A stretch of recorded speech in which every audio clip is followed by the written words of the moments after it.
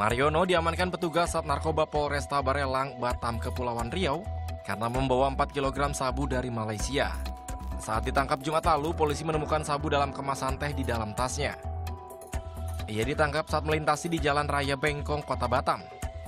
Profesi sebagai anak buah kapal yang beroperasi dengan rute Batam Malaysia dimanfaatkannya untuk menyelundupkan sabu. Dari keterangannya, sabu didapat dari warga Malaysia. Tersangka ini membawa narkotika jenis sabu ini dari Malaysia karena yang bersangkutan merupakan ABK dari eh, kapal ya, kapal kargo.